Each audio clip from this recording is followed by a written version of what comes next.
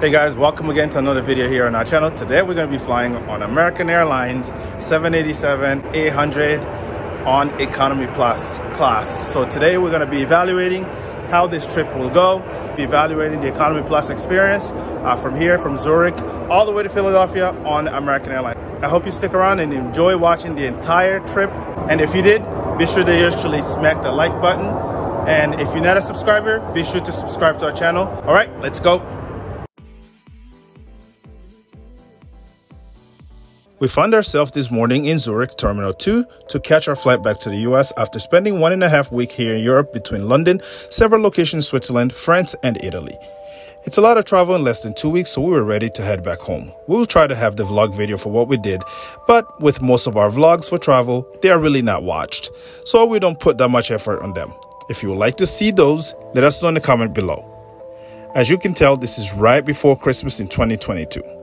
We checked in for our flights and we had a bit of an issue checking in for our flight as one of the agent performing our security check decided to interrogate me and later caused me to go through random security, quotation mark, having the SSS S or the quadruple S on my boarding pass. And from that day on, I have been going through random airport security for some reason. Given that this was during Christmas time, the airport was beautifully decorated for the season. I have heard a lot of people complaining about the Zurich airport, and I just can't see why. To me, this is a beautiful airport. I do understand that the satellite area where most of the non-Schengen flight depart from can lack a bit of food options, but from this area of the main terminal, it's really nice. Given that you have to go through immigration, I will say budget about 30 minutes for that, but spend most of your waiting time in the Schengen area. We made our transfer to the satellite area, given that we have access to lounge there. American Airlines uses another lounge here, but access is limited to one guest.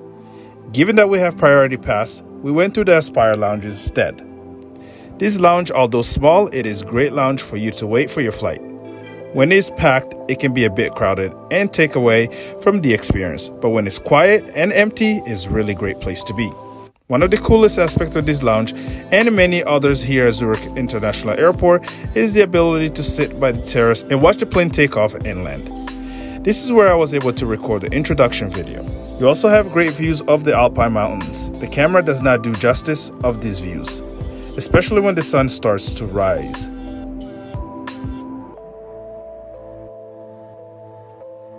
Back on the inside to see the food options available. Given that this was a morning flight, they had breakfast items that were being served. In addition, they had both non alcoholic drinks and alcoholic drinks, which meant that it was okay for us to enjoy mimosa in the morning. Don't judge me.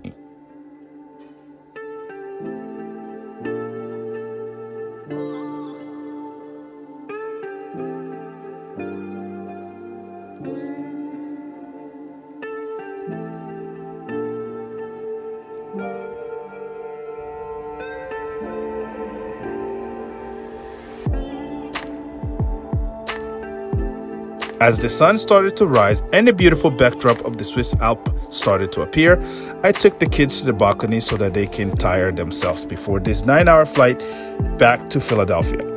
We try to find places that will tire them up before getting on the long flight. Whether that works or not, it's another topic. We also enjoyed the takeoff and landing of the planes, which is always a great thing to do as an aviation enthusiast.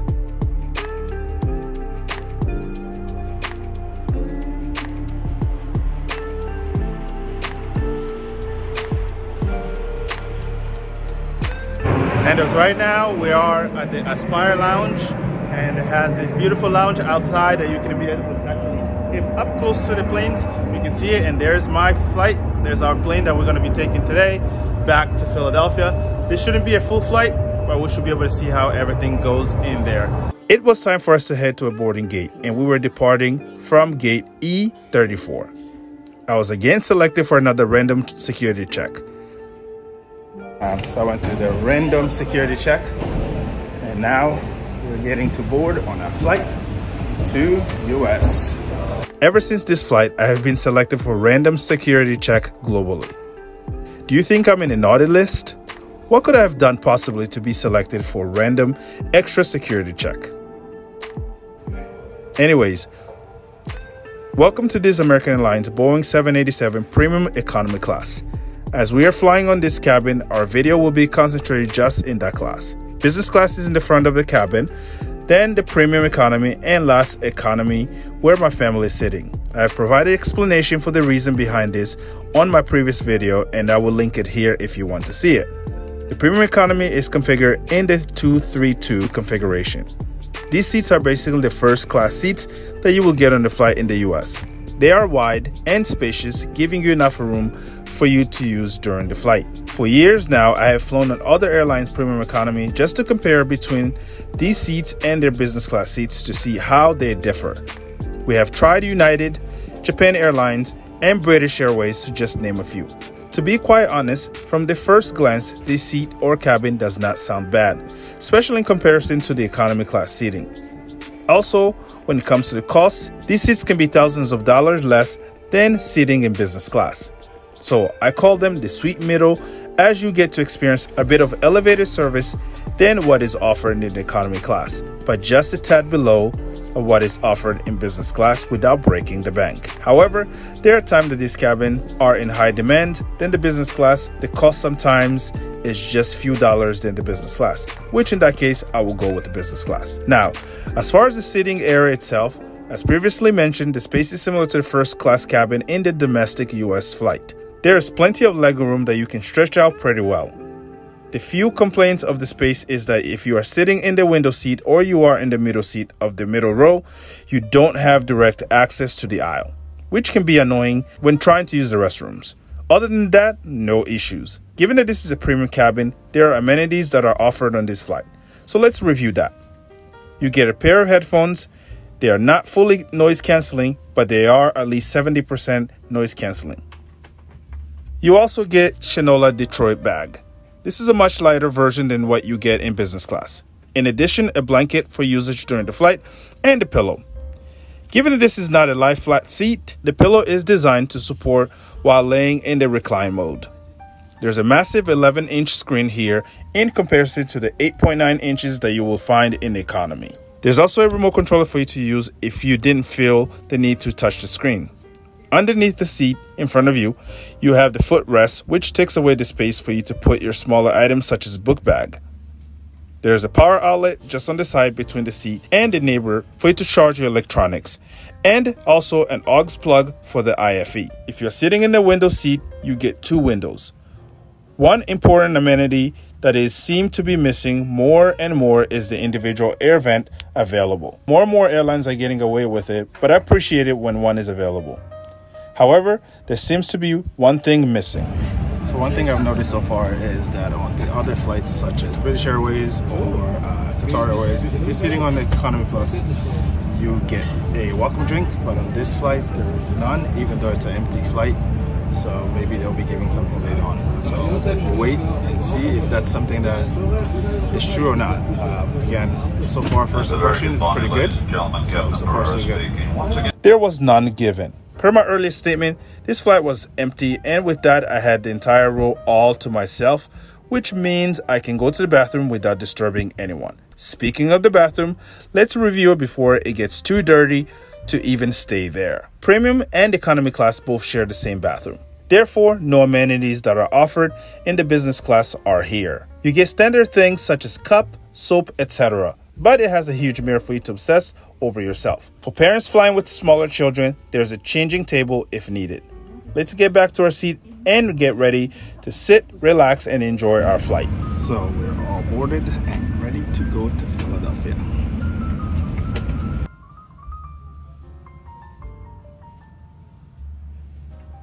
Given that this was during the World Cup, there was a live TV and I watched all the games. What a great feature for soccer or football fanatics, removing the anxiety while in the air.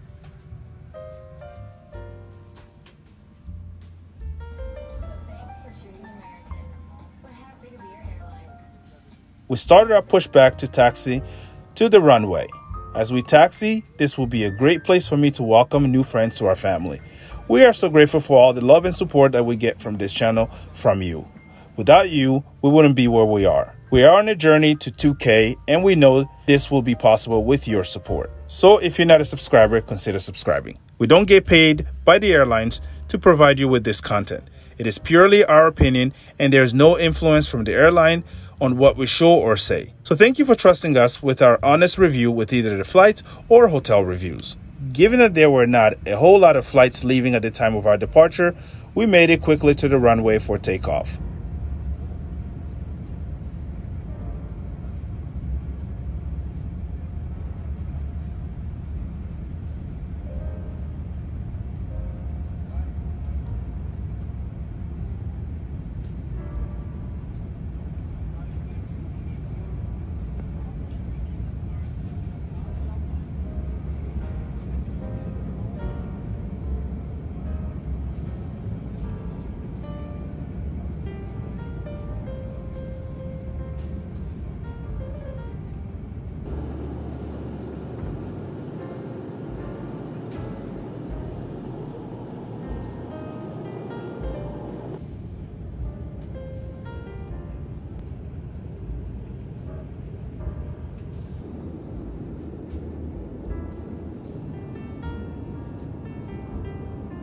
About 20 minutes after takeoff, the onboard meal service started. I was a bit curious to see what is offered in this premium economy class.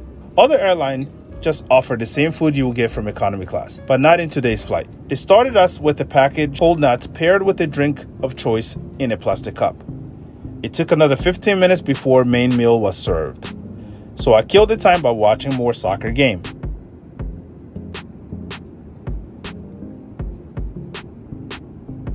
Now, I don't recall the options available for this flight, but I went with the beef option.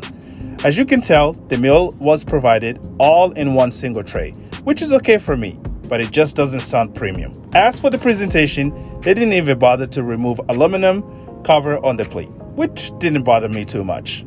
The meal is served on a similar plate that is done when flying in domestic first and in business class. The meal was good and I ate the majority of it.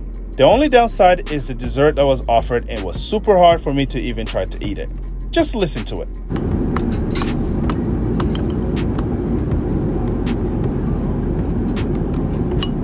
I decided to eat the ice cream instead. Then it was time for me to recline my seat and try to get some sleep. Given that the passengers in the first row declined to close their window shades, there was light in the cabin, which made it difficult to sleep. Two hours before landing, they served the second meal of the flight, and this time I went with the pasta salad. I wasn't a fan of this meal, but did enjoy fruit option. We started making our descent to Philadelphia, and this means it's time for me to give my overall review of this flight. For a nine hour flight, if given the option to sit in economy or this cabin, I would choose this if the price is close enough. I would pay a difference of anywhere between 100 and 300 from the economy class. Although you don't get a lie flat seat, you get a large seat with a plenty nice recline. There's also a lot of legroom and there's a huge divide between you and your seatmate, which you don't get in the economy. The overall flight was good. There was, however, limited interaction with the crew with the exception of when they came around and served food and cleaned them away. Maybe it was just this particular crew. Given that the cabin was empty, I will expect a bit more interaction with the customer in this class, but there was none. Other than that, the food was good and the seat was spacious, and the entertainment was just right for this flight. We left Zurich and arrived in Philadelphia on time, so that is a plus. Will I ever fly on American Airlines Premium Economy or do I recommend it? The answer is yes and yes. Yes to recommendation of this class given the reason I provided previously. And yes to trying them again given the price is right and is on the long haul where I'm not able to get business class seat through either upgrade or reward ticketing.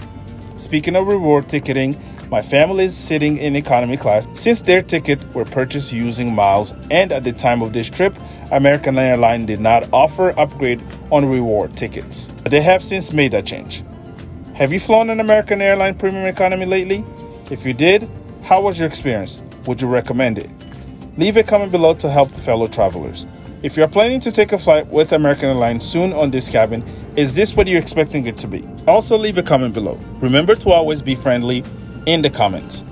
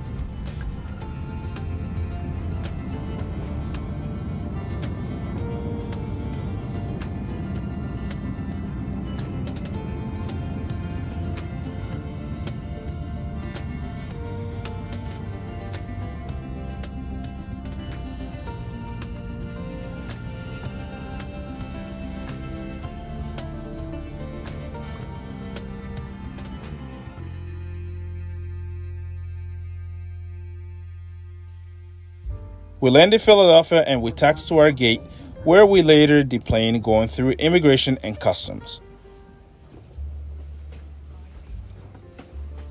We want to thank you for watching this video. If you enjoy watching this video, hit the like button and share with many friends. If you're not a subscriber, consider subscribing.